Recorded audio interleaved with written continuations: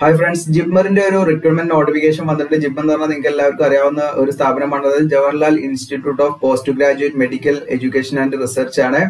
അപ്പോ ഇത് കേന്ദ്ര സർക്കാരിന്റെ കീഴിലുള്ള ഒരു സ്ഥാപനമാണ്. അതായത് ministry of health and family വെൽഫെയറിന് കീഴിലുള്ള ഒരു സ്ഥാപനമാണ്. അപ്പൊ കേന്ദ്ര സർക്കാർ ജോലിയാണ് സ്ഥിര വേക്കൻസിയിലേക്കാണ് വിളിച്ചിരിക്കുന്നത്. അപ്പൊ ഇതിലേക്ക് വിളിച്ചിരിക്കുന്ന വേക്കൻസി അതിന്റെ ഒഫീഷ്യൽ നോട്ടിഫിക്കേഷൻ നമുക്ക് നോക്കാം. അപ്പൊ ഇതിലേക്ക് വിളിച്ചിരിക്കുന്ന വേക്കൻസി നിങ്ങൾക്ക് ഇവിടെ കാണാം. നഴ്സിംഗ് ഓഫീസർ എന്ന് പറയുന്ന തസ്തികയിലേക്കാണ് വിളിച്ചിരിക്കുന്നത്. നാനൂറ്റി മുപ്പത്തി മൂന്ന് വേക്കൻസിയിലേക്കാണ് ടോട്ടൽ വിളിച്ചിരിക്കുന്നത്. അതോടൊപ്പം തന്നെ നമുക്ക് ഇതിന്റെ റിട്ടേൺ എക്സാമിനേഷൻ ഉണ്ടായിരിക്കും. കമ്പ്യൂട്ടറൈസ്ഡ് എക്സാമിനേഷൻ ആയിരിക്കും. അതിന്റെ സെന്റർ നമുക്ക് കേരളത്തിൽ പല ജില്ലകളിലും എന്താണ് അതിന്റെ സെന്റർ ഉണ്ട്. നമുക്ക് എക്സാം എഴുതാനുള്ള സൗകര്യങ്ങളുണ്ട്. അപ്പൊ നിങ്ങൾക്ക് ഇതിലേക്ക് എന്ത് ചെയ്യാം? അപേക്ഷ നൽകാൻ താല്പര്യം ഉണ്ടെങ്കിൽ തീർച്ചയായിട്ടും നിങ്ങൾ വീഡിയോ മുഴുവനായിട്ടും കാണാം. വീഡിയോ സ്കിപ്പ് ചെയ്ത് കാണരുത്. ദയവായിട്ട് നിങ്ങൾ വീഡിയോ മുഴുവനായിട്ടും കാണുക. കാരണം ഇതിൽ നമ്മൾ എങ്ങനെ അപേക്ഷ നൽകണം തുടങ്ങിയിട്ടുള്ള ഡീറ്റെയിൽഡ് വീഡിയോ ആണ് നമ്മൾ ചെയ്യാറ്.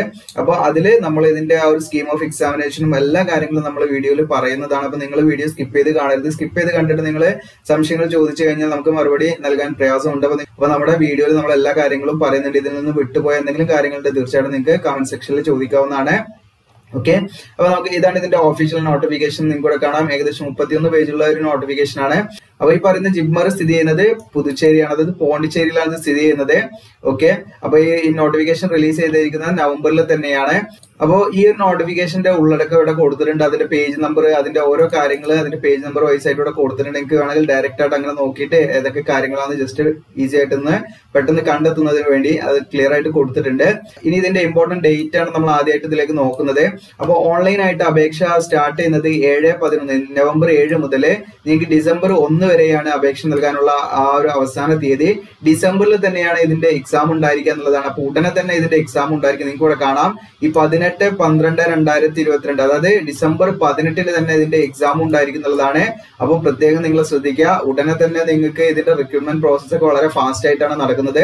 അപ്പോൾ ഉടനെ തന്നെ നമുക്കൊരു ഗവൺമെന്റ് ജോലി സെൻട്രൽ ഗവൺമെന്റ് ജോലിയൊക്കെ ലഭിക്കണമെങ്കിൽ ഈ പറയുന്ന ക്വാളിഫിക്കേഷൻ ഉള്ള ഉദ്യോഗാർത്ഥികളാണെങ്കിൽ നിങ്ങൾ കറക്റ്റ് ആയിട്ട് ഇതിലേക്ക് അപേക്ഷ നൽകാം. അപ്പോൾ അതോടൊപ്പം തന്നെ നമ്മൾ ഹാൾ ടിക്കറ്റ് ഈ പറയുന്ന കമ്പ്യൂട്ടർ ബേസ്ഡ് എക്സാമിനേഷന്റെ ഹാൾ ടിക്കറ്റ് ഡൗൺലോഡ് ചെയ്ത് തുടങ്ങേണ്ട ഡേറ്റ് എന്ന് പറയുന്നത് ഡിസംബർ പത്ത് മുതലാണ്. ഡിസംബർ പത്ത് മുതൽ പതിനെട്ടിന്റെ ഉള്ളിൽ നമ്മൾ എന്ത് ചെയ്യണം? ഹാൾ ടിക്കറ്റ് ഡൗൺലോഡ് ചെയ്ത് വെക്കണം എന്നുള്ളതാണ്. ഓക്കെ അപ്പൊ നമ്മൾ ഓൺലൈൻ ആയിട്ടാണ് ഇതിലേക്ക് അപേക്ഷ നൽകേണ്ടത്. അപേക്ഷ നൽകേണ്ട അവസാന തീയതി ഡിസംബർ ഒന്നാണ്. പ്രത്യേകം ശ്രദ്ധിക്കുക. അതോടൊപ്പം തന്നെ നിങ്ങൾക്ക് ഈ പറയുന്ന റിട്ടേൺ എക്സാമിനേഷന് പുറമെ സ്കിൽ ടെസ്റ്റ് ഉണ്ടായിരിക്കും. അപ്പൊ അതിന്റെ ഡേറ്റ് കാര്യങ്ങളൊക്കെ പിന്നീട് അറിയിക്കുന്നതാണ് പറയുന്നത്. ഇനി നമുക്ക് ഇതിന്റെ വേക്കൻസി അതുപോലെ പോസ്റ്റ് നെയിം കാര്യങ്ങളൊക്കെ നോക്കാം. അപ്പൊ നിങ്ങൾക്ക് കൂടെ കാണാം ഈ നോട്ടിഫിക്കേഷൻ വന്നിരിക്കുന്ന ഡേറ്റ് മൂന്ന് പതിനൊന്ന് രണ്ടായിരത്തി ഇരുപത്തിനാണ് അതായത് നവംബർ മൂന്നിനാണ്. ദെൻ ഇതിന്റെ പോസ്റ്റ് നെയിം എന്ന് പറയുന്നത് നഴ്സിംഗ് ഓഫീസർ എന്ന് പറയുന്ന തസ്തിലേക്കാണ് വിളിച്ചിരിക്കുന്നത്. ഇതിന്റെ പോസ്റ്റ് കോഡ് നിങ്ങൾക്ക് ഇവിടെ കാണാവുന്നതാണ്. അപ്പൊ ടോട്ടൽ വേക്കൻസി നാനൂറ്റി മുപ്പത്തി മൂന്ന് വേക്കൻസിയിലേക്കാണ് അതിൽ ജനറൽ നൂറ്റി എഴുപത്തഞ്ച് ഇ ഡബ്ല്യു എസിന് നാൽപ്പത്തി മൂന്ന് ഒ ബി സിക്ക് നൂറ്റി പതിനാറ് എസ് സിക്ക് അറുപത്തി ആറ് ദെൻ എസ് ടിക്ക് മുപ്പത്തി മൂന്ന് വേക്കൻസിയാണ് പിന്നെ ഈ പറയുന്ന ജിബ്മാറിന്റെ തീരുമാനപ്രകാരം എൺപത് ശതമാനം ഈ പോസ്റ്റിൽ നാനൂറ്റി മുപ്പത്തി മൂന്ന് പോസ്റ്റിൽ ഇതിന്റെ എൺപത് ശതമാനം ഫീമെയിൽ കാൻഡിഡേറ്റ്സിനെ റിസർവ് ചെയ്ത് വെച്ചിരിക്കുന്നു എന്നാണ് പറയുന്നത്. അപ്പോൾ ഫീമെയിൽ കാൻഡിഡേറ്റ്സിനാണ് ഇതിൽ മെജോറിറ്റി എന്താണ് ഇതിന്റെ ഒരു എയ്റ്റി പെർസെന്റേജ് വാക്കൻസിയും റിസർവ്ഡ് ആയിട്ടുള്ളത്.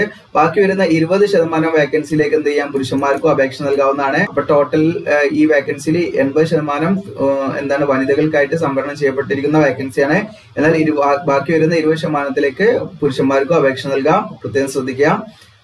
പിന്നെ പി ഡബ്ല്യു ഡി കാൻഡിഡേറ്റ്സിന് റിസർവ്ഡ് ആയിട്ടുള്ള ആ ഒരു ഇരുപത്തിമൂന്ന് പോസ്റ്റിന്റെ കാര്യം ഇവിടെ പറയുന്നുണ്ട്. ഇനി ഈ പറയുന്ന നഴ്സിംഗ് ഓഫീസർ എന്ന് പറയുന്നത് ഗ്രൂപ്പ് ബി പോസ്റ്റ് ആണ്. അതിന്റെ കാറ്റഗറി നോക്കുകയാണെങ്കിൽ ഗ്രൂപ്പ് ബി ആണ് വരുന്നത്. അതോടൊപ്പം തന്നെ അതിന്റെ എഡ്യൂക്കേഷൻ എസെൻഷ്യൽ ക്വാളിഫിക്കേഷൻ നമുക്ക് നോക്കാം. അപ്പൊ നിങ്ങൾക്ക് ഡിപ്ലോമ കഴിഞ്ഞവരാണെങ്കിലും അതുപോലെ തന്നെ ബി എസ് സി കഴിഞ്ഞവരാണെങ്കിലും ഇതിലേക്ക് അപേക്ഷ നൽകാം. അതിന് ചില മാനദണ്ഡങ്ങൾ ഉണ്ട് എല്ലാം ഞാൻ പറയാം. അപ്പൊ നമ്മുടെ പോസ്റ്റ് നെയിം എന്ന് പറയുന്നത് നഴ്സിംഗ് ഓഫീസറോട് കൊടുത്തിട്ടുണ്ട്. ഇനി ഇവിടെ നമുക്ക് നോക്കാം ഇതിന്റെ ഒന്നാമതായിട്ടുള്ള എലിജിബിലിറ്റി കാര്യങ്ങൾ നമുക്ക് നോക്കാം. അപ്പൊ ഒന്നെങ്കിൽ ഇവിടെ പറയുന്നുണ്ട് ബി എസ് സി ഓണേഴ്സ് നഴ്സിംഗോ അല്ലെങ്കിൽ ബി എസ് സി നഴ്സിംഗോ കഴിഞ്ഞിരിക്കുക എന്നുള്ളതാണ്. അത് ഇന്ത്യൻ നഴ്സിംഗ് കൗൺസിലോ അല്ലെങ്കിൽ സ്റ്റേറ്റ് നഴ്സിംഗ് കൗൺസിലോ റെക്കഗ്നൈസ്ഡ് ആയുള്ള സ്ഥാപനങ്ങൾ അല്ലെങ്കിൽ യൂണിവേഴ്സിറ്റി ആയിരിക്കണം എന്നുള്ളതാണ്. അപ്പോൾ ഇതിൽ ഏതെങ്കിലും ഒരു ക്വാളിഫിക്കേഷൻ ഉണ്ടെങ്കിൽ നിങ്ങൾക്ക് എന്ത് ചെയ്യാം? ഇതിലേക്ക് അപേക്ഷ നൽകാം. അത് മാത്രം പോരാ. അതോടൊപ്പം തന്നെ സ്റ്റേറ്റ് ഓർ ഇന്ത്യൻ നഴ്സിംഗ് കൗൺസിലിൽ നിങ്ങൾ അതായത് നേഴ്സായിട്ടും മിഡ്വൈഫായിട്ടും നിങ്ങൾ രജിസ്റ്റർ ചെയ്തിരിക്കണം എന്നുള്ള കാര്യം ഇവിടെ പറയുന്നുണ്ട്. അപ്പൊ ഈ ഒരു ക്വാളിഫിക്കേഷനും ഇതുള്ളവർക്ക് എന്ത് ചെയ്യാം? ഇതിലേക്ക് അപേക്ഷ നൽകാം. ഇനി അതല്ലെങ്കിൽ ഇവിടെ ഒരു ഓപ്ഷൻ ഇവിടെ ഇവിടെ പറയുന്നുണ്ട്. അതായത് ബി എസ് സി പോസ്റ്റ് സർട്ടിഫിക്കറ്റോ അല്ലെങ്കിൽ അല്ലെങ്കിൽ post basic B S C നഴ്സിംഗോ കഴിഞ്ഞവർക്കും ഇതിലേക്ക് അപേക്ഷ നൽകാം എന്ന് പറയുന്നുണ്ട്. അങ്ങനെയുള്ള ഉദ്യോഗാർത്ഥികളാണെങ്കിലും അവർക്ക് ഈ രണ്ടാമതായിട്ട് പറയുന്ന ഈ ഒരു എന്താണ് സ്റ്റേറ്റ് ഓർ ഇന്ത്യൻ നഴ്സിംഗ് കൗൺസിലിൽ നിങ്ങൾ രജിസ്റ്റർ ചെയ്തിരിക്കണം എന്ന് പറയുന്നുണ്ട്. നേഴ്സ് ആൻഡ് മിഡ് വൈഫ് ആയിട്ട് രജിസ്റ്റർ ചെയ്തിരിക്കണം എന്നുള്ള കാര്യം പറയുന്നുണ്ട്. അപ്പൊ നിങ്ങൾക്ക് ഇതിലേക്ക് അപേക്ഷ നൽകാനുള്ള യോഗ്യത ഞാൻ പറഞ്ഞു. അപ്പൊ നിങ്ങൾക്ക് അതിന്റെ കൺഫ്യൂഷൻ ഒഴിവാക്കാൻ വേണ്ടി ഒന്നും കൂടെ ഞാൻ പറയാണ്. ഒന്നാമതായിട്ട് നിങ്ങൾക്ക് ബി എസ് സി ഓണേഴ്സ് നഴ്സിംഗോ അല്ലെങ്കിൽ നിങ്ങൾക്ക് ബി എസ് സി നഴ്സിംഗോ കഴിഞ്ഞിരിക്കുക എന്നുള്ളതാണ്. അതോടൊപ്പം തന്നെ പ്ലസ് നിങ്ങൾക്ക് ഈ പറഞ്ഞിരിക്കുന്ന നഴ്സിംഗ് കൗൺസിൽ അതായത് ഇന്ത്യൻ അല്ലെങ്കിൽ സ്റ്റേറ്റ് നഴ്സിംഗ് കൗൺസിലിൽ നിങ്ങൾക്ക് എന്ത് ചെയ്യണം? നഴ്സ് ആൻഡ് മിഡ് വൈഫ് ആയിട്ട് രജിസ്റ്റർ ചെയ്തിരിക്കണം. അപ്പൊ ഈ കാര്യങ്ങളുടെ നിങ്ങൾക്ക് ഒന്നാമതായിട്ട് ഇതിലേക്ക് അപേക്ഷ നൽകാം. ഇനി രണ്ടാമതായിട്ട് നിങ്ങൾ ബി എസ് സി പോസ്റ്റ് സർട്ടിഫിക്കറ്റോ അല്ലെങ്കിൽ post basic B S C നഴ്സിംഗോ ഇതിൽ ഏതെങ്കിലും ഒന്ന് കഴിയുകയും അതോടൊപ്പം തന്നെ ഈ പറഞ്ഞിരിക്കുന്ന നിങ്ങൾ ഈ state or Indian nursing council register ചെയ്തവരാണെങ്കിലും നിങ്ങൾക്ക് എന്ത് ചെയ്യാം? ഇതിലേക്ക് അപേക്ഷ നൽകാം. ഓക്കെ അപ്പോൾ ഈ കാര്യങ്ങൾ ശ്രദ്ധിക്കാം. ഇനി അതും അല്ലെങ്കിൽ ഇവിടെ ഓരോ ഓപ്ഷനും പാടുണ്ട്. ഡിപ്ലോമ കഴിഞ്ഞ വിദ്യാർത്ഥികൾക്കും അപേക്ഷ നൽകാം. അതായത് ഇവിടെ പറയുന്നുണ്ട് diploma in general nursing and midwifery കഴിഞ്ഞവർക്ക് അപേക്ഷ നൽകാം. അപ്പൊ ജനറൽ നഴ്സിംഗിലും മിഡ്വിഫറിയിലും ഡിപ്ലോമ കഴിഞ്ഞവർക്ക് ഇതിലേക്ക് അപേക്ഷ നൽകാവുന്നതാണ്. അതോടൊപ്പം തന്നെ ഒന്നാമതായിട്ട് ആ ഒരു ക്വാളിഫിക്കേഷൻ ആണ്. പ്ലസ് അതോടൊപ്പം തന്നെ എന്ത് വേണമെന്ന് വെച്ചാൽ ഈ പറയുന്ന സ്റ്റേറ്റ് ഓർ ഇന്ത്യൻ നഴ്സിംഗ് കൗൺസിലിൽ നിങ്ങൾ എന്ത് ചെയ്യണം? നേഴ്സ് ആൻഡ് മിഡ് വൈഫായിട്ട് രജിസ്റ്റർ ചെയ്തിരിക്കുകയും വേണം. ഓക്കെ ദെൻ അതോടൊപ്പം തന്നെ നിങ്ങൾക്ക് എന്ത് വേണം? രണ്ട് വർഷത്തെ എക്സ്പീരിയൻസും വേണം. മിനിമം അൻപത് ബെഡുള്ള ഹോസ്പിറ്റലിൽ നിങ്ങൾക്ക് എന്താണ് നിങ്ങളുടെ ക്വാളിഫിക്കേഷൻ പൂർത്തിയാക്കിയതിനു ശേഷം എഡ്യൂക്കേഷൻ ക്വാളിഫിക്കേഷൻ നിങ്ങൾ പൂർത്തീകരിച്ചതിന് ശേഷം നിങ്ങൾക്ക് എന്താണ് എക്സ്പീരിയൻസും വേണം എന്നുള്ളതാണ്. ഓക്കെ അപ്പോൾ ഒന്നെങ്കിൽ നിങ്ങൾക്ക് ഈ ഒന്ന് കൊടുത്തിരിക്കുന്ന ഈ ഒരു ക്വാളിഫിക്കേഷനിൽ ഇതിൽ ഏതെങ്കിലും ഉള്ളത് ഉള്ളവർക്കാണെങ്കിൽ ഇതിലേക്ക് അപേക്ഷ നൽകാം. ഇനി ഇവിടെ രണ്ട് കൊടുത്തിട്ടുണ്ട്. ഇതിൽ ഏതെങ്കിലും ഉണ്ടെങ്കിൽ നിങ്ങൾക്ക് എന്ത് ചെയ്യാം? ഇതിൽ ഏതെങ്കിലും അല്ല ഈ ക്വാളിഫിക്കേഷൻ ഉണ്ടെങ്കിൽ നിങ്ങൾക്ക് എന്ത് ചെയ്യാം? ഇതിൽ അപേക്ഷ നൽകാം. ഓക്കെ അപ്പൊ ഞാൻ പറഞ്ഞ കാര്യങ്ങൾ മനസ്സിലായിട്ടുണ്ടോ എന്ന് വിചാരിക്കുന്നു. അപ്പോൾ ഡിപ്ലോമ കഴിഞ്ഞവർക്ക് അപേക്ഷ നൽകാം. ഡിപ്ലോമ കഴിഞ്ഞവർക്കാണെങ്കിൽ അവർക്ക് ടു ഇയർ എക്സ്പീരിയൻസ് വേണം. അതോടൊപ്പം തന്നെ ഈ പറയുന്ന സ്റ്റേറ്റ് ഓഫ് ഇന്ത്യൻ നഴ്സിംഗ് കൗൺസിലിൽ രജിസ്റ്റർ ചെയ്തിരിക്കുകയും വേണം. ഇനി അതല്ല ബി എസ് സി കഴിഞ്ഞവർക്ക് അപേക്ഷ നൽകാം. ബി എസ് സി കഴിഞ്ഞവർക്കാണെങ്കിൽ എക്സ്പീരിയൻസ് വേണ്ട. അവർക്ക് എന്ത് ചെയ്താൽ മതി? ജസ്റ്റ് സ്റ്റേറ്റ് നേഴ്സ് സ്റ്റേറ്റ് അല്ലെങ്കിൽ ഇന്ത്യൻ നഴ്സിംഗ് കൗൺസിലിൽ just nurse and midwife ആയിട്ട് രജിസ്റ്റർ ചെയ്തവരാണെങ്കിൽ അവർക്ക് എന്ത് ചെയ്യാം? ഇതിലേക്ക് അപേക്ഷ നൽകാം. ഓക്കെ അപ്പോൾ ഇവിടെ നിങ്ങൾക്ക് വ്യക്തമായിട്ടുണ്ടാവും വിചാരിക്കുന്നു. എന്തെങ്കിലും ഡൗട്ട് ഉണ്ട് തീർച്ചയായിട്ടും നിങ്ങൾക്ക് കോൺസെപ്റ്റിൽ ചോദിക്കാവുന്നതാണ്. ഇതിന്റെ പേ സ്കെയിൽ ഇവിടെ കൊടുത്തിട്ടുണ്ട്. നാല്പത്തിനാലായിരത്തി തൊള്ളായിരം ആയിരിക്കും. നമുക്ക് കിട്ടുന്ന ഏകദേശം ഒരു സാലറി എന്ന് പറയുന്നത്. ദെൻ ഇതിന്റെ ഏജ് ലിമിറ്റ് എന്ന് പറയുന്നത് മുപ്പത്തി അഞ്ച് വയസ്സ് വരെ ഉള്ളവർക്ക് ഇതിലേക്ക് അപേക്ഷ നൽകാം. സാധാരണ ഗവൺമെന്റ് ഉപകാരമുള്ള ഏജ് റിലാക്സേഷൻ ഇതിന് പുറമെ ലഭിക്കുന്നതാണ്. അതായത് ഒ ബി സി ആണെങ്കിൽ അവർക്ക് മുപ്പത്തി എട്ട് വയസ്സ് വരെ അപേക്ഷ നൽകാം. Then S C S T ആണെങ്കിൽ അവർക്ക് നാൽപ്പത് വയസ്സ് വരെ അപേക്ഷ നൽകാം. Then P W B D candidates ആണെങ്കിൽ പത്ത് മുതൽ പതിനഞ്ച് വർഷം വരെ ഏജ് റിലാക്സേഷൻ ഉണ്ട്. അതൊക്കെ ഞാൻ പറയാം.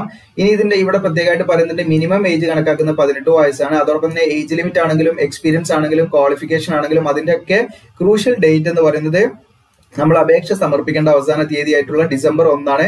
അപ്പൊ ഡിസംബർ ഒന്നിന്റെ മുന്നേ നമുക്ക് എന്ത് ചെയ്യണം? നമ്മൾ ക്വാളിഫൈഡ് ആയിരിക്കണം നമ്മൾ ഫുൾഫിൽ ചെയ്തിരിക്കണം. അതായത് നമ്മുടെ എഡ്യൂക്കേഷൻ ക്വാളിഫിക്കേഷൻ ആയാലും നമ്മുടെ ഏജ് ആയാലും ഒക്കെ നമുക്ക് കറക്റ്റ് ഈ പറഞ്ഞ രീതിയിൽ തന്നെ ആയിരിക്കണം. അപ്പോൾ നിങ്ങൾ പ്രത്യേകം ശ്രദ്ധിക്കുക റിസൾട്ട് വെയിറ്റ് ചെയ്യുന്ന ഉദ്യോഗാർത്ഥികൾക്കൊന്നും ഇതിലേക്ക് അപേക്ഷ നൽകാൻ പറ്റില്ല. കാരണം അവരുടെ റിസൾട്ട് ഈ പറയുന്ന ഡിസംബർ ഒന്നിന്റെ ഉള്ളിൽ പബ്ലിഷ് ചെയ്യുകയാണെങ്കിൽ നിങ്ങൾക്ക് ഇതിലേക്ക് അപേക്ഷ നൽകാം. ഇനി അതെല്ലാം നമ്മൾ റിസൾട്ട് വെയിറ്റ് ചെയ്യുന്ന കാറ്റഗറി എന്നുള്ള ലെവലിൽ ഇതിൽ അപേക്ഷ നൽകാൻ പറ്റില്ല. അപ്പോൾ പ്രത്യേകം ശ്രദ്ധിക്കുക. ഇനി നമുക്ക് ഇതിന്റെ സ്കീം ഓഫ് എക്സാമിനേഷൻ ആണ്. അപ്പൊ ഇതിൽ റിട്ടേൺ ടെസ്റ്റ് ഉണ്ടായിരിക്കും അതോടൊപ്പം തന്നെ സ്കിൽ ടെസ്റ്റ് ഉണ്ടായിരിക്കും ആവശ്യമെങ്കിൽ അപ്പൊ ഇതിന്റെ എക്സാം സിലബസ് ഇവിടെ കൊടുത്തിട്ടുണ്ട് കമ്പ്യൂട്ടർ ബേസ്ഡ് എക്സാം ആയിരിക്കും. അപ്പോൾ ഇവിടെ നമുക്ക് നോക്കാം ഈ എഴുപത് ശതമാനം എന്താണ് ഈ ക്വസ്റ്റ്യനും നമുക്ക് സബ്ജക്ട് റിലേറ്റഡ് ആയിട്ടുള്ള ക്വസ്റ്റ്യൻസ് ആയിരിക്കും എന്നാണ് പറയുന്നത്. അതോടൊപ്പം തന്നെ ബാലൻസ് മുപ്പത് ശതമാനം ക്വസ്റ്റ്യൻസ് ഈ പറയുന്ന ജി കെ വരും. അതോടൊപ്പം തന്നെ general intelligence general English then general mathematics ഇങ്ങനെയുള്ള ഭാഗങ്ങളായിരിക്കും വരിക. അപ്പൊ നിങ്ങൾ എഴുപത് ശതമാനം നിങ്ങളുടെ സബ്ജക്ട് റിലേറ്റഡ് ആയിട്ടുള്ള ക്വസ്റ്റ്യൻസ് ആയിരിക്കും ഇതിൽ വരിക. നൂറ് മാർക്കിനുള്ള ക്വസ്റ്റ്യൻ ആണ്. ഒരു ക്വസ്റ്റ്യൻ ശരിയാക്കിയാൽ നിങ്ങൾക്ക് നാല് മാർക്കാണ് ലഭിക്കുക. അങ്ങനെ തൊണ്ണൂറ് ആണ് ടൈം ഡ്യൂറേഷൻ വരുന്നത്. ഇനി ഇതിന്റെ സ്കീം ഓഫ് എക്സാമിനേഷൻ സ്കിൽ ടെസ്റ്റിന്റെ കാര്യങ്ങളോട് പറയുന്നുണ്ട് സ്കിൽ ടെസ്റ്റ് എന്ന് പറയുന്നത് ക്വാളിഫൈ നേച്ചറാണ് നമുക്ക് ഈ പറയുന്ന റിട്ടേൺ എക്സാമിനേഷന്റെ അടിസ്ഥാനത്തിലായിരിക്കും നമ്മുടെ മെറിറ്റ് ലിസ്റ്റ് തയ്യാറാക്കുക. അപ്പോൾ ഈ പറയുന്ന സ്കിൽ ടെസ്റ്റിൽ നമുക്ക് യാതൊരുവിധ മാർക്ക് വെയിറ്റേജോ കാര്യങ്ങളൊന്നുമില്ല. ജസ്റ്റ് നമ്മൾ അത് ക്വാളിഫൈ ചെയ്യലാണ് നമുക്ക് വേണ്ടത്. അപ്പോൾ നിങ്ങളുടെ റിട്ടേൺ ടെസ്റ്റിന്റെ മെറിറ്റ് അടിസ്ഥാനത്തിൽ നിങ്ങൾ അതിലേക്ക് ഈ പറയുന്ന സ്കിൽ ടെസ്റ്റിന് നമുക്ക് അപ്പിയർ ചെയ്യാം. അപ്പോൾ അത് നമ്മൾ നിർബന്ധമായിട്ട് എന്ത് ചെയ്യണം?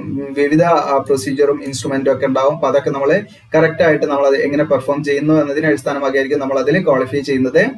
അപ്പൊ ഈ പറയുന്ന സ്കിൽ ടെസ്റ്റിന്റെ ആ ഒരു ഡേറ്റും കാര്യങ്ങളൊക്കെ നമ്മളെ അറിയിക്കുന്നതാണ് ഷോർട്ട് ലിസ്റ്റ് ചെയ്യപ്പെട്ട നമ്മൾ അറിയിക്കുന്നതാണ് പറയുന്നത്. അപ്പോൾ ഈ പറയുന്ന കമ്പ്യൂട്ടർ ബേസ്ഡ് ടെസ്റ്റ് ആണെങ്കിലും സ്കിൽ ടെസ്റ്റ് ആണെങ്കിലും ഒരു അതിൽ ഓരോ ഉദ്യോഗാർത്ഥികളും കാറ്റഗറി വൈസ് ആയിട്ട് വാങ്ങേണ്ട മിനിമം ഒരു കട്ട് ഓഫ് മാർക്ക് അല്ലെങ്കിൽ പെർസെന്റേജ് ഇവിടെ പറയുന്നുണ്ട്. അതിന്റെ പെർസെന്റേജ് ആണ് ഇവിടെ പറയുന്നത്. അതായത് general E W S C വിഭാഗമാണെങ്കിൽ minimum അവർ ഈ പറയുന്ന റിട്ടേൺ ടെസ്റ്റിൽ അവർ അൻപത് ശതമാനം മാർക്ക് വാങ്ങണം. ഈ അതോടൊപ്പം തന്നെ സ്കിൽ ടെസ്റ്റ് ആണെങ്കിൽ എല്ലാ വിദ്യാർത്ഥികളും ഏത് കാറ്റഗറി ആണെങ്കിലും മിനിമം അവർ അൻപത് ശതമാനം എന്താണ് അതിൽ ആ ഒരു പെർസെന്റേജ് മാർക്ക് വാങ്ങിയിരിക്കണം എന്നുള്ളതാണ്. ഇനി റിട്ടേൺ ടെസ്റ്റിൽ പി ഡബ്ല്യു ഡിയിൽ തന്നെ ഈ പറയുന്ന general E W S candidates ആണെങ്കിൽ അവർക്ക് നാൽപ്പത്തഞ്ച് ശതമാനം മതി. ഇനി S C S T O B C തുടങ്ങിയിട്ടുള്ള ഉദ്യോഗാർത്ഥികളാണെങ്കിൽ അവർക്ക് നാൽപ്പത് ശതമാനം മാർക്ക് മതി എന്നുള്ള കാര്യങ്ങൾ പറയുന്നുണ്ട്. അപ്പോൾ ഇത് മിനിമം നമ്മൾ ക്വാളിഫൈ ചെയ്യേണ്ട അതായത് ഈ പറയുന്ന നമുക്ക് ഈ ഇവിടെ ഈ കമ്പ്യൂട്ടർ വൈസ്ഡ് ടെസ്റ്റിന്റെ ഈ ഒരു നിശ്ചിത പെർസെന്റേജ് മാർക്കിൽ എത്തി എത്തിക്കഴിഞ്ഞാൽ നമ്മുടെ സ്കിൽ ടെസ്റ്റിന് വിളിക്കും. അങ്ങനെ ഈ സ്കിൽ ടെസ്റ്റും നമ്മൾ കറക്റ്റ് ആയിട്ട് എങ്ങനെ പെർഫോം ചെയ്യുന്നതിനെ അടിസ്ഥാനമായിരിക്കും ഇതിന്റെ ഫൈനൽ മെറിറ്റ് ലിസ്റ്റ് ഇനി ഇതിന്റെ ഏജ് റിലാക്സേഷൻ ആണ് പറയുന്നത്. നമ്മൾ ഏജ് റിലാക്സേഷൻ ഓൾറെഡി പറഞ്ഞു. എസ് സി ആണെങ്കിൽ അഞ്ച് വർഷം ഒ ബി സി ആണെങ്കിൽ മൂന്ന് വർഷം. P W P W B D തന്നെ general or E W C ആണെങ്കിൽ അവർക്ക് പത്ത് വർഷം വരെ ഏജ് റിലാക്സേഷൻ ഉണ്ടായിരിക്കും. ദെൻ പി ഡബ്ല്യു ബി ഡിയിൽ ഒ ബി സി ആണെങ്കിൽ അവർക്ക് പതിമൂന്ന് വർഷം വരെ ഉണ്ടായിരിക്കും. ദെൻ പി ഡബ്ല്യു ബി ഡിയിൽ എസ് സി എസ് ടി ആണെങ്കിൽ അവർക്ക് പതിനഞ്ച് വർഷം വരെ ഏജ് റിലാക്സേഷൻ ഉണ്ടായിരിക്കും. ഓക്കെ ഇനി നമ്മൾ ഒ ബി സി കാൻഡിഡേറ്റ്സ് ഒക്കെ ആണെങ്കിൽ അവർ നോൺ ക്രിമിനൽ സർട്ടിഫിക്കറ്റ് ആണ് ഈ പറയുന്ന റിസർവേഷൻ കിട്ടുന്നതിന് വേണ്ടി സബ്മിറ്റ് ചെയ്യേണ്ടത്. അപ്പോൾ വാലിഡ് ആയിട്ടുള്ള അപ്പോൾ നോൺ ക്രിമിനൽ സർട്ടിഫിക്കറ്റ് വാലിഡിറ്റി എന്ന് പറയുന്നത് ഒരു വർഷമാണ്. അപ്പോൾ നിങ്ങളെ കയ്യിൽ സെൻട്രൽ ഗവൺമെന്റ് പർപ്പസിന് നിശ്ചിതമായിട്ട് ഇതിൽ അതിൽ ഫോർമാറ്റ് ഉണ്ട്. അനുബന്ധം ഒന്നിലുണ്ട്. അത് ഞാൻ കാണിക്കാം വീഡിയോയുടെ മറ്റൊരു ഭാഗത്ത്. അപ്പോൾ ആ ഒരു ഫോർമാറ്റ് പ്രകാരമുള്ള അത് സെയിം എന്താണ് ഫോർമാറ്റ് രീതിയിലുള്ള സർട്ടിഫിക്കറ്റ് ആയിരിക്കണം എന്ന് പ്രത്യേകം ശ്രദ്ധിക്കുക. അപ്പോൾ അത് ഒരു വർഷത്തിൽ എന്താണ് അതിന്റെ വാലിഡിറ്റി കഴിയാൻ പാടില്ല. അതായത് ഒരു വർഷത്തിന്റെ ഉള്ളിലുള്ള സർട്ടിഫിക്കറ്റ് ആയിരിക്കണം എന്ന് പറയുന്നുണ്ട്. അപ്പൊ അങ്ങനെയുള്ള കാര്യങ്ങളൊക്കെ പ്രത്യേകം ശ്രദ്ധിക്കുക. അപ്പൊ നമ്മൾ ജോയിൻ ചെയ്യുന്ന സമയത്തേക്ക് ഒരു വർഷം പൂർത്തിയാകാത്ത രീതിയിലുള്ള സർട്ടിഫിക്കറ്റ് ആയിരിക്കണം നമ്മളെ കയ്യിലുണ്ടായിരിക്കേണ്ടത്. ഇനി ഇ ഡബ്ല്യു എസ് കാൻഡിഡേറ്റ്സ് ആണെങ്കിൽ നിശ്ചിത ഫോർമാറ്റ് ഇതിൽ പറയുന്നുണ്ട്. അപ്പോൾ ഇവിടെ നിങ്ങൾക്ക് അനുബന്ധം രണ്ടിൽ കൊടുത്തിട്ടുണ്ട് അവരുടെ ഫോർമാറ്റ് അപ്പൊ ഇതൊക്കെ ഈ ഒരു നോട്ടിഫിക്കേഷൻ ഉണ്ട് നിങ്ങൾക്ക് ജസ്റ്റ് നോക്കാം. അപ്പോൾ അവർ ആ രീതിയിലുള്ള സർട്ടിഫിക്കറ്റ് ആണ് അവർക്ക് ആ റിസർവേഷൻ ഒക്കെ ലഭിക്കണമെങ്കിൽ അവർ സബ്മിറ്റ് ചെയ്യേണ്ടത്. പിന്നെ എസ് സി എസ് ടി ആണെങ്കിൽ അവർ ഈ പറയുന്ന അനുബന്ധം മൂന്നിൽ കൊടുത്തിരിക്കുന്ന രീതിയിലുള്ള സർട്ടിഫിക്കറ്റ് ആണ്. അപ്പൊ അതൊക്കെ ഞാൻ ജസ്റ്റ് കാണിക്കാം വീഡിയോയുടെ മറ്റൊരു ഭാഗത്ത്. പിന്നെ പി ഡബ്ല്യു ഡി കാൻഡിഡേറ്റ്സിന്റെ കാര്യങ്ങളോട് പറയുന്നുണ്ട്. സ്യൂട്ടബിൾ ആയിട്ടുള്ള വിദ്യാർത്ഥികൾ ആരൊക്കെയാന്നുള്ള കാര്യങ്ങളൊക്കെ ഈ ഇതിൽ ലിസ്റ്റ് ചെയ്തിട്ടുണ്ട്. നിങ്ങൾക്ക് നോക്കിയിട്ട് അപ്ലൈ ചെയ്യാവുന്നതാണ്. ഇനി എങ്ങനെയാണ് നമ്മൾ അപേക്ഷ സമർപ്പിക്കുന്നത്? വീഡിയോയുടെ അവസാന ഭാഗത്തിൽ സിമ്പിൾ ആയിട്ട് ചെറിയൊരു ഡെമോ കാണിക്കുന്നതാണ്. അപ്പോൾ നിങ്ങൾക്ക് കൂടുതൽ ഉദ്യോഗാർത്ഥികളെ എങ്ങനെ ഓൺലൈൻ ആയിട്ട് അപേക്ഷ സമർപ്പിക്കണം എന്നുള്ള കംപ്ലീറ്റ് ഡെമോ കാണിക്കണമെങ്കിൽ നിങ്ങൾ കമന്റ് ചെയ്ത് കഴിഞ്ഞാൽ നമ്മൾ കൂടുതൽ കമന്റുകൾ വരികയാണെങ്കിൽ നമുക്കത് ചെയ്യണം തോന്നുകയാണെങ്കിൽ നമ്മളത് വീഡിയോ ചെയ്ത് തരുന്നതാണ്. നില ഇപ്പൊ ഈ ഒരു വീഡിയോയുടെ ഭാഗത്ത് നമ്മൾ അവസാന ഭാഗത്ത് നിങ്ങൾക്ക് ലിങ്ക് ഈ ലിങ്കിൽ കയറിയിട്ട് എങ്ങനെയാണ് അതിന്റെ ആ ഒരു ഫസ്റ്റ് സ്റ്റെപ്പ് നമ്മൾ ചെയ്യേണ്ടതെന്ന് ജസ്റ്റ് ഒന്ന് നിങ്ങൾക്ക് കാണിച്ചു തരും. അപ്പൊ നിങ്ങൾക്ക് ജസ്റ്റ് അതിൽ കയറിയിട്ട് അങ്ങനെ ചെയ്തു പോയാലും മതി. ദെൻ ഇതിന്റെ അപേക്ഷാ ഫീസ് ഉണ്ട്. അപേക്ഷാ ഫീസ് അത്യാവശ്യം ഫീ ഉണ്ട് എന്നുള്ളതാണ് നമുക്ക് net bank net banking credit card debit card ഒക്കെ ഉപയോഗിച്ച് ഫീ അടയ്ക്കാം. അതിൽ general E W S C candidates ആണെങ്കിൽ അവർ ആയിരത്തി അഞ്ഞൂറ് രൂപ പ്ലസ് ട്രാൻസാക്ഷൻ ചാർജും വരും എന്നുള്ളതാണ്. എന്നാൽ ഒ ബി സി കാൻഡിഡേറ്റ്സ് ആണെങ്കിലും അവർക്ക് ആയിരത്തി അഞ്ഞൂറും പ്ലസ് ട്രാൻസാക്ഷൻ ചാർജ് വരും. എന്നാൽ എസ് സി എസ് ടി ആണെങ്കിൽ അവർക്ക് ആയിരത്തി ഇരുന്നൂറ് പ്ലസ് ട്രാൻസാക്ഷൻ ചാർജ് ആണ് വരിക. Then P W B D കാൻഡിഡേറ്റ്സിന് യാതൊരുവിധ ഫീസും കൊടുക്കേണ്ടതില്ല എന്നുള്ളതാണ്. ബാക്കിയുള്ള എസ് സി എസ് ടി ഒക്കെ ആണെങ്കിലും ആയിരത്തി ഇരുന്നൂറ് പ്ലസ് ട്രാൻസാക്ഷൻ ചാർജ് വരും. അപ്പൊ നിങ്ങൾ ഇതിലേക്ക് അപേക്ഷിക്കുന്നെങ്കിൽ കാര്യക്ഷമമായി നിങ്ങൾ പഠിച്ച് എന്താണ് എക്സാമിന് പോകുന്ന വിദ്യാർത്ഥികൾ ഇതിലേക്ക് അപേക്ഷ നൽകാം. കാരണം ഫീ നിങ്ങൾക്ക് അത്യാവശ്യം എമൗണ്ട് ഉണ്ട്. വെറുതെ നമ്മൾ ഫീ കൊണ്ട് കളയരുത്. ഇനി ഇതിന്റെ ജനറൽ ഇൻസ്ട്രക്ഷൻ ആണ്. അപ്പോൾ ഇതൊക്കെ നല്ല അവസരമാണ്. നമുക്ക് കേന്ദ്ര സർക്കാർ ജോലി നമുക്ക് പോണ്ടിശ്ശേരിയിൽ തന്നെ നമുക്ക് എന്താണ് അത്യാവശ്യം നല്ല വളരെ ഫേമസ് ആയിട്ടുള്ള സ്ഥാപനമാണ് ഇത്. അതിലൊക്കെ ജോലി ചെയ്യാൻ ലഭിക്കുക എന്ന് പറയുന്നത് നല്ലൊരു കാര്യം തന്നെയാണ്. അപ്പോൾ നിങ്ങൾ ശ്രമിക്കുക എന്നുള്ളതാണ്. ഇനി ഇതിന്റെ ജനറൽ ഇൻസ്ട്രക്ഷനിലൂടെ പറയുന്നുണ്ട്. നമ്മുടെ ഏജ് ആയാലും ക്വാളിഫിക്കേഷൻ ആയാലും എസെൻഷ്യൽ എന്തായാലും എസെൻഷ്യൽ ക്വാളിഫിക്കേഷൻ ആയാലും എന്തായാലും ഇതിന്റെ ആ ഒരു ഓൺലൈൻ അപേക്ഷയുടെ അവസാന തീയതി ആയിരിക്കും ഇതിന്റെ ആ ഒരു ക്രൂഷ്യൽ ഡേറ്റ് അത് കട്ട് ഓഫ് ഡേറ്റ് എന്ന് പറയുന്നത്. അതിന്റെ ഉള്ളിൽ നമ്മൾ എന്താണ് ക്വാളിഫൈ ചെയ്തിരിക്കുന്നത്? നമ്മൾ മുകളിൽ പറഞ്ഞ കാര്യം തന്നെയാണ്. അപ്പൊ ഡിസംബർ ഒന്നിന്റെ ഉള്ളിൽ നമ്മൾ കംപ്ലീറ്റ് നമുക്ക് ഏജ് ആയാലും നമ്മുടെ ക്വാളിഫിക്കേഷൻ ആയാലും എല്ലാം നമ്മൾ ഫുൾഫിൽ ചെയ്തിരിക്കണം എന്നുള്ളത് നിങ്ങൾ മനസ്സിലാക്കുക. അങ്ങനെയുള്ള വിദ്യാർത്ഥികൾ ഇതിലേക്ക് അപേക്ഷ നൽകാം. ഇനി ഇത് നമ്മൾ ഫോട്ടോഗ്രാഫ് ഒക്കെ അപ്ലോഡ് ചെയ്യുന്ന അല്ലെങ്കിൽ സിഗ്നേച്ചർ അപ്ലോഡ് ചെയ്യുന്നതിന്റെ കുറച്ച് കാര്യങ്ങളോട് പറയുന്നുണ്ട്. അപ്പൊ നിങ്ങൾ ഈ പറയുന്ന ആയിരത്തി അഞ്ഞൂറ് ആയിരത്തി ഇരുന്നൂറ് ഒക്കെ കൊടുത്ത് ഫീ അടച്ച് നിങ്ങൾ ഈ ഫോട്ടോഗ്രാഫിലേക്ക് എന്തെങ്കിലും എറർ വന്നാൽ നമ്മുടെ അപേക്ഷ റിജക്ട് ആവും അപ്പൊ നിങ്ങൾ പ്രത്യേകം ശ്രദ്ധിക്കുക. ഇങ്ങനെയുള്ള കാര്യങ്ങൾ അപ്പൊ നമ്മൾ റീസെന്റ് ആയിട്ടുള്ള colour colour passport size photograph ആണ് നമ്മൾ ഇതിൽ അപ്ലോഡ് ചെയ്യേണ്ടത്. ലൈറ്റ് ബാക്ക്ഗ്രൗണ്ട് ആയിരിക്കണം എന്ന് പ്രത്യേകം അവിടെ പറയുന്നുണ്ട്. അതോടൊപ്പം തന്നെ നമ്മൾ ഫോട്ടോഗ്രാഫ് എടുക്കുന്ന സമയത്ത് നമ്മൾ പ്ലക്കാർഡൊക്കെ പിടിച്ചിട്ട് അതിൽ നമ്മുടെ പേരും നമ്മൾ ഈ ഫോട്ടോ എടുക്കുന്ന ആ ഡേറ്റും നമ്മൾ എന്ത് ചെയ്യണം അതിൽ മെൻഷൻ ചെയ്യണം. ഈ പറയുന്ന രീതി അതിന് എക്സാമ്പിൾ ഇവിടെ കൊടുത്തിട്ടുണ്ട്. ഇതേ രീതിയിലാണ് നമ്മൾ എന്ത് ചെയ്യേണ്ടത് ഫോട്ടോ എടുക്കേണ്ടത്. അപ്പൊ നിങ്ങൾ ഒരു സ്റ്റുഡിയോയിൽ ചെന്നിട്ട് നിങ്ങൾ പറഞ്ഞാൽ മതി. ഈ ഒരു ഇത് സ്ക്രീൻഷോട്ട് എടുത്തിട്ട് നിങ്ങൾ പറഞ്ഞാൽ മതി. ഈ രീതിയിലാണ് നിങ്ങളുടെ പേര് എന്താണ് നല്ല എലിജിബിൾ ആയിരിക്കണം നല്ല ക്യാപിറ്റൽ ലെറ്ററിൽ തന്നെ പേര് ചെയ്താൽ അതിനുശേഷം ഫോട്ടോ എടുക്കുന്ന തീയതി എന്നാണോ ആ തീയതി ഇവിടെ എഴുതി കൊടുക്കുക. ഓക്കെ അപ്പൊ നമ്മുടെ പേര് ഒറ്റ നോട്ടത്തിൽ തന്നെ നമുക്ക് കാണുന്ന രീതിയിൽ നിങ്ങൾ എന്ത് ചെയ്യുക? നല്ല ക്യാപിറ്റൽ ലെറ്ററിൽ നല്ല വൃത്തിയിൽ നിങ്ങൾ എഴുതുക. അപ്പൊ നിങ്ങൾക്ക് ഇത് പ്രിന്റ് എടുത്തിട്ട് വേണമെങ്കിൽ ചെയ്യാം. അതായത് നമ്മളൊരു എ ഫോറിൽ പ്രിന്റ് എടുത്തിട്ട് നിങ്ങൾക്ക് ഒരു സ്ലേറ്റിൽ ഒട്ടിച്ച് അങ്ങനെയൊക്കെ ചെയ്യാം. അപ്പൊ അവർക്കും അവരോട് ചോദിച്ചു നോക്കുക. അവരെങ്ങനെയാണ് സാധാരണ എടുക്കാറ്? അവർക്ക് എന്തെങ്കിലും ഇതുണ്ടോ? ബോർഡ് ഉണ്ടോ? അല്ലെങ്കിൽ സ്ലേറ്റ് പോലെയുള്ള സംഭവങ്ങളൊക്കെ ഉണ്ടെങ്കിൽ അതിലൊക്കെ നിങ്ങൾക്ക് ചെയ്യാവുന്നതാണ്. നിങ്ങളത് നോക്കിയിട്ട് ചെയ്യാം. അതോടൊപ്പം തന്നെ നമ്മൾ ഫോട്ടോ സിഗ്നേച്ചർ സർട്ടിഫിക്കറ്റ് കാര്യങ്ങളൊക്കെ നമ്മൾ ഓൺലൈൻ അപേക്ഷിക്കുന്ന സമയത്ത് അപ്ലോഡ് ചെയ്യണം. അപ്പോൾ ഫോട്ടോഗ്രാഫ് ആണെങ്കിൽ പാസ്പോർട്ട് സൈസ് ഫോട്ടോഗ്രാഫ് ആണ്. അതിന്റെ സൈസ് ഡയമെൻഷൻ ഇവിടെ പറയുന്നുണ്ട്. മുപ്പത് എം എം വിടുത്തും അത് നാൽപ്പത്തഞ്ച് എം എം ഹൈറ്റും വേണം. അതോടൊപ്പം തന്നെ നമ്മൾ ആ ഒരു ഫയൽ നെയിം നിർബന്ധമായിട്ടും ഈ രീതിയിൽ വേണം. കാൻഡിഡേറ്റ് ഫോട്ടോഗ്രാഫ് ഫുൾ സ്റ്റോപ്പ് ഇട്ടിട്ട് ജെ പി ജി ഇടണം. ഓക്കെ ഇവിടെ ഇൻവെർട്ടർ കോമയിൽ രേഖപ്പെടുത്തിയിരിക്കുന്ന ഇതേ രീതിയിലുള്ള ഞാൻ മാർക്ക് ചെയ്യുന്ന ഇതേ രീതിയിലായിരിക്കണം നമ്മളുടെ ആ ഒരു ഫോട്ടോഗ്രാഫിന്റെ ഫയൽ നെയിം ഓക്കെ അപ്പോ നിങ്ങൾക്ക് വേറെ എന്തെങ്കിലും പേരാണെങ്കിൽ റീനെയിം കൊടുത്തിട്ട് നിങ്ങൾ എന്ത് ചെയ്യുക റീനെയിം എന്നുള്ള ക്ലിക്ക് ചെയ്തിട്ട് നിങ്ങൾക്ക് ഈ ഒരു പേര് അതേപോലെ അടിച്ചു കൊടുക്കാം. അല്ലെങ്കിൽ നമുക്ക് ഫോട്ടോ അപ്ലോഡ് ചെയ്യുമ്പോൾ എറർ കാണിക്കും. പിന്നെ മിനിമം സൈസ് പത്ത് കെ ബിയുടെ മിനിമം ആണ്. അപ്പം മാക്സിമം എന്ന് പറയുന്നത് എൺപത് കെ ബി ആണ്. മാക്സിമം അതായത് പത്തിന്റെയും എൺപതിന്റെയും ഇടയ്ക്കുള്ള സൈസ് ആയിരിക്കണം എന്ന് പറയുന്നുണ്ട്. സിഗ്നേച്ചർ ആണെങ്കിൽ എൺപത് എം എം എടുത്തും മുപ്പത്തഞ്ച് എം എം ഹൈറ്റും ആണ് വേണ്ടത്. അതോടൊപ്പം തന്നെ ഇതിലും നമ്മൾ ഫയൽ നെയിം കൊടുക്കുന്നത് കാൻഡിഡേറ്റ് സിഗ്നേച്ചർ ഫുൾ സ്റ്റോപ്പ് ഇട്ടിട്ട് ജെ പി ജി ഇങ്ങനെയാണ് നമ്മൾ കൊടുക്കേണ്ടത്. ഫയൽ നെയിം കൊടുക്കേണ്ടത്. ഇതിന്റെ മിനിമം പത്ത് കെ ബി ആണ് മാക്സിമം എൺപത് കെ ബി ആണ് ഫയൽ സൈസ് അപ്പൊ നിങ്ങൾക്ക് ഓൺലൈൻ ആയിട്ട് ഒരുപാട് ടൂളുകൾ ഉണ്ട്. ഇനി അതല്ല നിങ്ങൾക്ക് ഫോട്ടോഷോപ്പ് ഒക്കെ വെച്ചിട്ട് നിങ്ങൾക്ക് അറിയെങ്കിൽ നിങ്ങൾക്ക് എന്ത് ചെയ്യാം? ഫോട്ടോ രീതിയിൽ എന്ത് ചെയ്യാം? സൈസ് ഒക്കെ കൺവേർട്ട് ചെയ്ത് എടുക്കാം. അതോടൊപ്പം തന്നെ നിങ്ങൾക്ക് സമീപത്തുള്ള നെറ്റ് കാഫേലൊക്കെ പോയി കഴിഞ്ഞാൽ നിങ്ങൾക്ക് ഈസി ആയിട്ട് എന്ത് ചെയ്യാൻ പറ്റും നിങ്ങൾക്ക് കാര്യങ്ങളൊക്കെ ചെയ്യാൻ പറ്റും. ഇനി എന്തൊക്കെ ഡോക്യുമെന്റ്സ് നമ്മൾ അപ്ലോഡ് ചെയ്യണം എന്ന് പറയുന്നുണ്ട്. അതായത് നിങ്ങൾക്ക് കമ്മ്യൂണിറ്റി സർട്ടിഫിക്കറ്റ് അതായത് E W S O B C S C S T ഉദ്യോഗാർത്ഥികളാണെങ്കിൽ അവർ എന്തെങ്കിലും അവരുടെ കമ്മ്യൂണിറ്റി സർട്ടിഫിക്കറ്റ് ഇതിൽ അപ്ലോഡ് ചെയ്യണം എന്ന് പ്രത്യേകം പറയുന്നുണ്ട്. ഇനി P W B D candidates ആണെങ്കിൽ അവരുടെ സർട്ടിഫിക്കറ്റ് ഇതിൽ അപ്ലോഡ് ചെയ്യണം. ഇനി പറയുന്ന എക്സ്പീരിയൻസ് വേണ്ട ആ ഒരു ഡിപ്ലോമ കഴിഞ്ഞ ഉദ്യോഗാർത്ഥികളാണെങ്കിൽ അവർക്ക് എക്സ്പീരിയൻസ് വേണം. അതിന്റെ സർട്ടിഫിക്കറ്റ് എന്ത് ചെയ്യണം? അവർ അപ്ലോഡ് ചെയ്യണം. പിന്നെ ഏതെങ്കിലും ഗവൺമെന്റ് സെക്ടറിൽ വർക്ക് ചെയ്യുന്ന വിദ്യാർത്ഥികളാണെങ്കിൽ അവർ നോ ഒബ്ജക്ഷൻ സർട്ടിഫിക്കറ്റ് എന്ത് ചെയ്യണം അപ്ലോഡ് ചെയ്യണം. അപ്പൊ ഇത് നമുക്ക് ബാധകമല്ല. ഇത് ഗവൺമെന്റ് എംപ്ലോയീസ് അല്ലെങ്കിൽ ഇങ്ങനെയുള്ള സർക്കാർ സ്ഥാപനങ്ങളൊക്കെ ജോലി ചെയ്യുന്നവർക്ക് വേണ്ടിയുള്ളതാണ് ആ ഒരു നോ ഒബ്ജക്ഷൻ സർട്ടിഫിക്കറ്റ് എന്ന് പറയുന്നത്. അപ്പൊ നിങ്ങൾക്ക് കാസ്റ്റ് സർട്ടിഫിക്കറ്റും അതോടൊപ്പം തന്നെ ഡിപ്ലോമ കഴിഞ്ഞവരാണെങ്കിൽ എക്സ്പീരിയൻസ് സർട്ടിഫിക്കറ്റ് ആണ് പ്രധാനമായിട്ട് ഇതിൽ അപ്ലോഡ് ചെയ്യേണ്ടത്. വേറെ കാര്യങ്ങളൊന്നും നമ്മൾ അപ്ലോഡ് ചെയ്യേണ്ട.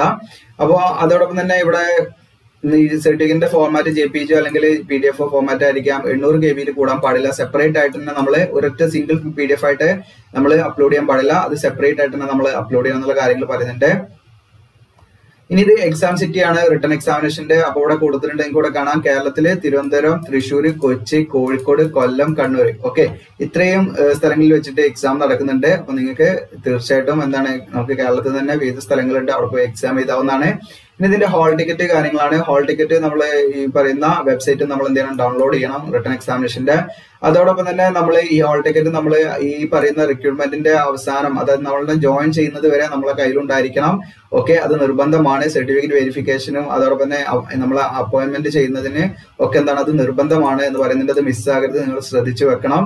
അതോടൊപ്പം തന്നെ ഹോൾ ടിക്കറ്റ് മാത്രം പോരാ. അതോടൊപ്പം തന്നെ അതിന്റെ കൂടെ നമുക്ക് നമ്മൾ എക്സാമിന് പോകുന്ന സമയത്ത് നമുക്ക് വാലിഡ് ആയിട്ടുള്ള ഐഡന്റിറ്റി പ്രൂഫ് വേണം. അത് അതോടൊപ്പം തന്നെ ഐഡന്റിറ്റി പ്രൂഫിന്റെ ഒറിജിനലും വേണം. ഫോട്ടോ കോപ്പിയും വേണം എന്ന് പറയുന്നുണ്ട്.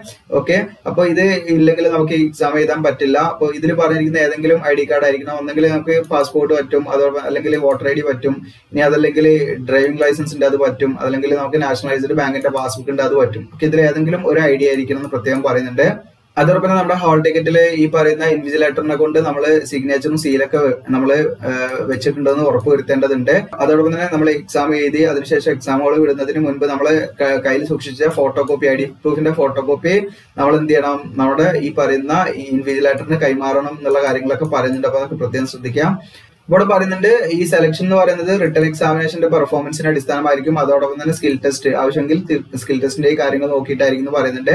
പിന്നെ നിങ്ങൾക്ക് ഓൺലൈൻ എക്സാം ആയതുകൊണ്ട് തന്നെ നിങ്ങൾക്ക് അതിന്റെ കുറച്ച് കാര്യങ്ങൾ ഇവിടെ പറയുന്നുണ്ട്. അതിന്റെ ആ ഒരു എന്താണ് നമ്മുടെ സ്ക്രീനിൽ എന്തൊക്കെ കാര്യങ്ങളെ കാണിക്കുക എന്നുള്ളതൊക്കെ പറയുന്നുണ്ട്. അപ്പൊ കറക്റ്റ് നമ്മൾ ആൻസർ ചെയ്ത് കഴിഞ്ഞാൽ നമുക്ക് ഫോർ മാർക്ക് ലഭിക്കും.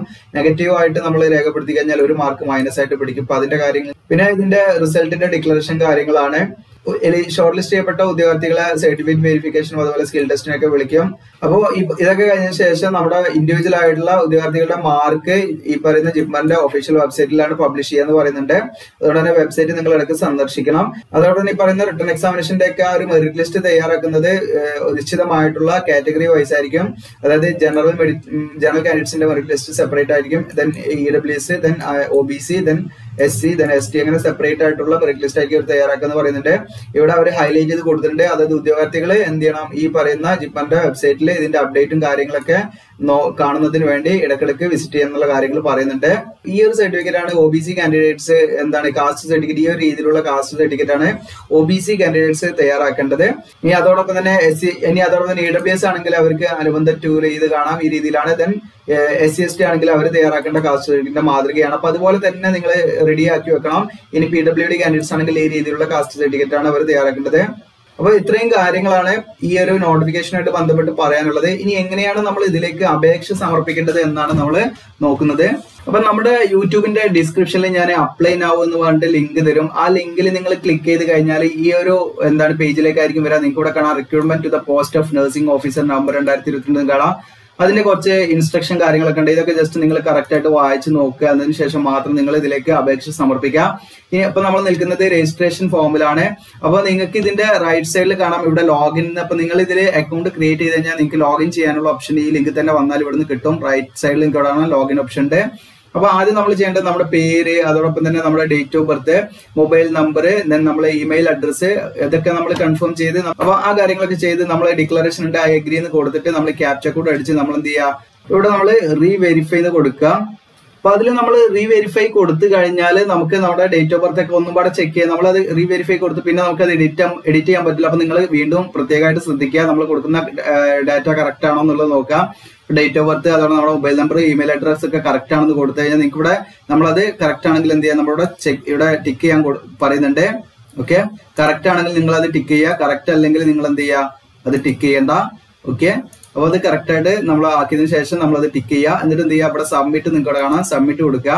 ഇവിടെ പറയുന്നുണ്ട് നമ്മൾ സബ്മിറ്റ് കൊടുത്താൽ മതി ഇവിടെ ഒരു അലേർട്ട് മെസ്സേജ് വന്നിട്ടുണ്ട്. നമ്മൾ ഒരു ഒരു തവണ ഇപ്പം നമ്മൾ സബ്മിറ്റ് കൊടുത്താൽ പിന്നെ നമ്മൾ ഇപ്പം കൊടുത്ത ഡാറ്റകളൊന്നും നമുക്ക് എന്ത് ചെയ്യാൻ പറ്റില്ല നമുക്ക് മോഡിഫൈ ചെയ്യാൻ പറ്റില്ല എന്ന് പറയുന്നുണ്ട്. അപ്പൊ ഞാനിവിടെ ഓക്കെ എന്ന് കൊടുക്കണം അപ്പൊ പ്രത്യേകം അതൊക്കെ നോക്കിയിട്ട് നിങ്ങൾ ചെയ്യാം. അപ്പോൾ നമുക്ക് ഇവിടെ കാണാം. നിങ്ങൾക്ക് രജിസ്ട്രേഷൻ സക്സസ്ഫുള്ളി ഇത് കാണിച്ചിട്ടുണ്ട്. അതോടൊപ്പം തന്നെ രജിസ്ട്രേഷൻ നമ്പർ ഇവിടെ വന്നിട്ടുണ്ട്. ഓക്കെ അപ്പോൾ ഈ രജിസ്ട്രേഷൻ നമ്പർ നമ്മൾ എന്ത് ചെയ്യണം പ്രത്യേകമായിട്ട് എഴുതി എവിടെയെങ്കിലും സൂക്ഷിക്കണം. ഇത് നമുക്ക് ഇത് നമുക്ക് പിന്നീട് ആവശ്യം വരുന്നു പറയുന്നുണ്ട്. അതോടൊപ്പം തന്നെ ഈ രജിസ്ട്രേഷൻ നമ്പർ നമ്മൾ മെയിൽ ഐ ഡിയിലേക്കും അതോടൊപ്പം തന്നെ മൊബൈലിലേക്കും എസ് എം എസ് ആയിട്ടും അയച്ചിട്ടുണ്ടെന്ന് പറയുന്നുണ്ട്. നമുക്ക് ക്ലോസ് ചെയ്യാം. ഓക്കെ. ഇപ്പൊ ഇങ്ങനെയാണ് ഇവിടെ വന്നിരിക്കുന്നത്. അപ്ലിക്കന്റ് ഡീറ്റെയിൽസ് നമുക്ക് ഞാനിപ്പോ കൊടുത്ത ഡീറ്റെയിൽസ് കൂടെ കാണാം. ഇനി നിങ്ങൾക്ക് ഇവിടെ റൈറ്റ് സൈഡിൽ ഇവിടെ ഗോ ടു അപ്ലിക്കേഷൻ കാണാം. അതിന്റെ അപ്പുറത്ത് ലോഗ് ഔട്ട് കാണാം. നിങ്ങൾക്ക് ലോഗ് ഔട്ട് ചെയ്തിട്ട് വേണമെങ്കിൽ പിന്നീട് നിങ്ങൾക്ക് എന്ത് ചെയ്യാൻ മതി? ആപ്ലിക്കേഷൻ ഫുൾ ചെയ്താലും മതി. അപ്പൊ ഈ ഗോ ടു അപ്ലിക്കേഷനിൽ നമ്മളൊന്ന് ക്ലിക്ക് ചെയ്യാം. അപ്പോൾ ഇനി നമ്മൾ ഇതിന്റെ അപ്ലിക്കേഷൻ നമ്പർ മറ്റു കാര്യങ്ങൾ ഓട്ടോമാറ്റിക്കോട് ഫില്ല് ചെയ്തിട്ടുണ്ട്. നമ്മൾ കുറച്ച് മറ്റു കാര്യങ്ങളൊക്കെ നമ്മൾ ഏത് പോസ്റ്റ് ആണ് ഒക്കെ സെലക്ട് ചെയ്യുക. അപ്പൊ ഇങ്ങനെയുള്ള കാര്യങ്ങളാണ് ഇതിൽ വരുന്നത്. ഓക്കെ കാറ്റഗറി ഡീറ്റെയിൽസ് അപ്പൊ ഞാനിപ്പം നമുക്ക് എന്താണ് ഇതിപ്പോ കൂടുതൽ ആളുകൾ എന്താണ് നമ്മുടെ ചാനലിൽ അധികവും എന്താണ് നഴ്സിംഗുമായി ബന്ധപ്പെട്ടുള്ള ഉദ്യോഗാർത്ഥികൾ കുറവായതുകൊണ്ട് സബ്സ്ക്രൈബർ കുറവായതുകൊണ്ടാണ് ഞാനിത് കംപ്ലീറ്റ് ആയിട്ട് ചെയ്യാത്തത്. അപ്പൊ നിങ്ങൾക്ക് ആ താല്പര്യം ഉണ്ടെങ്കിൽ ഇതിന്റെ ഓരോ സ്റ്റെപ്പും ഇത് നിങ്ങൾക്ക് കാണാം. അഡീഷണൽ ഡീറ്റെയിൽസ് കമ്മ്യൂണിക്കേഷൻ ഡീറ്റെയിൽസ് അങ്ങനെ ഒരുപാട് കാര്യങ്ങൾ നമുക്ക് ഇതിൽ ഫില്ല് ചെയ്യാണ്ട് ഓക്കെ അപ്പോൾ അത് എങ്ങനെയാണ് ഫില്ല് ചെയ്യേണ്ടതെന്നുള്ള വീഡിയോ ചെയ്യണമെങ്കിൽ നമ്മൾ എന്ത് ചെയ്യാം? സെപ്പറേറ്റ് ആയിട്ട് ഒരു വീഡിയോ ചെയ്തു തരാം. നിങ്ങൾക്ക് കൂടുതൽ ആളുകൾ ഉണ്ടെങ്കിൽ അല്ലെങ്കിൽ നിങ്ങൾക്ക് ജസ്റ്റ് എന്ത് ചെയ്താൽ മതി? ഇതിങ്ങനെ ചെയ്ത് മതി. ഇത് ജസ്റ്റ് ഫില്ല് ചെയ്ത് ഇങ്ങനെ പോയാൽ മതി. ആവശ്യമായുള്ള ഫീൽഡ് നിങ്ങൾ എന്ത് ചെയ്താൽ ജസ്റ്റ് ഫില്ല് ചെയ്ത് പോകുക എന്നുള്ളതാണ്. ഫില്ല് ചെയ്യുമ്പോൾ പ്രത്യേകം ശ്രദ്ധിക്കാം നമ്മുടെ ഡീറ്റെയിൽസ് ഒന്നും തെറ്റാൻ പാടില്ല. കറക്റ്റ് ഡീറ്റെയിൽസ് കാര്യങ്ങൾ തന്നെ നമ്മൾ കൊടുക്കണം. അപ്പോൾ ഇത് മാക്സിമം മറ്റുള്ളവരിലേക്ക് ഒന്ന് ഷെയർ ചെയ്യുക സബ്സ്ക്രൈബ് ചെയ്യുക ലൈക്ക് ചെയ്യുക. അപ്പോൾ ഇതിന്റെ ലിങ്ക് നമ്മുടെ യൂട്യൂബിന്റെ ഡിസ്ക്രിപ്ഷൻ ഉണ്ടായിരിക്കും. പി ഡി എഫിന്റെ ലിങ്ക് ഉണ്ടായിരിക്കും. നിങ്ങൾക്ക് അപേക്ഷ നൽകാനുള്ള ലിങ്കും ഉണ്ടായിരിക്കും. താങ്ക്